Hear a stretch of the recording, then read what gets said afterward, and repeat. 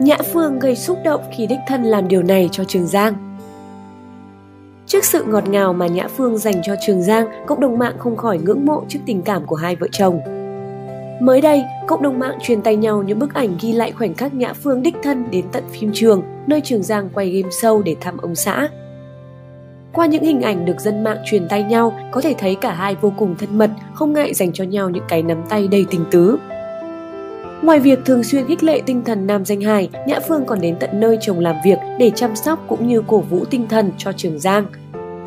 Chính những hành động chân thành này đã khiến cộng đồng mạng vô cùng ngưỡng mộ trước tấm chân tình mà đôi vợ chồng trẻ dành cho con. Trước đó không lâu, sau nhiều lần im lặng trước tin đồn sinh con đầu lòng, thông qua một bài viết được chính nữ diễn viên chia sẻ trên trang cá nhân, Nhã Phương lần đầu công khai thông tin đã sinh con gái.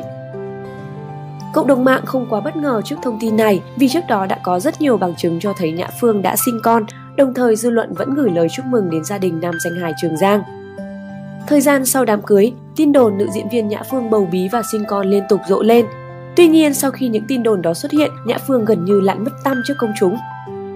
Thay vào đó khán giả chỉ nhìn thấy Nhã Phương qua các hình ảnh của một bà bầu đóng quảng cáo cùng chồng hay những dòng trạng thái giao lưu khán giả trên fanpage chính thức.